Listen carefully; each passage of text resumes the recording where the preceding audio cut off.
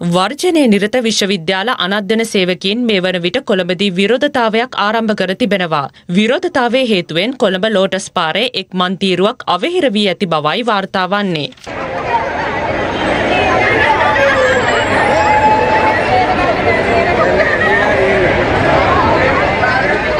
වැටු පැතුළු ඉල්ලීම් කිහිපයක් මුල් කර ගනිමින් විශ්වවිද්‍යාල අනන්දන සේවකින් වර්ජනය ආරම්භ කර අදට දින හතලිස් අටක් වනවා. මේ පිළිබඳව විශේෂ සාකච්ඡාවක් අද පස්වරුවේ විශ්වවිද්‍යාල ප්‍රතිපාදන කොමිෂන් සභාව සමඟ පැවැත්වෙන බවයි විශ්වවිද්‍යාල වෘත්තී සමිති ඒකාබද්ධ සමිතියේ සම සභාපති මංගල දබරේරා ප්‍රකාශ කළේ. විශ්වවිද්‍යාල ප්‍රතිපාදන කමිෂන් සභාවේ සභාපතිතුමා විසින් රැස්වීමක් ලබා දීලා තියෙනවා දහවල් දෙකට විශ්වවිද්‍යාල ප්‍රතිපාදන කමිෂන් සභාවේ එම රැස්වීම සඳහාත් එම උද්ඝෝෂණයෙන් අනතුරුව අපි සහභාගී වීමට නියමිතයි. රටේ ලෝකෙ සිදුවන උණුසුම් පුවත් දැනගන්න සියත නිවුස් YouTube channel එක අදම subscribe කරන්න.